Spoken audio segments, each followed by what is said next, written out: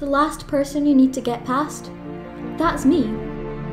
The person who will dive at full stretch to stop your shot? That's me. I'm the last line of defence. All my dedication and hard work has prepared me for this moment. I am a goalkeeper.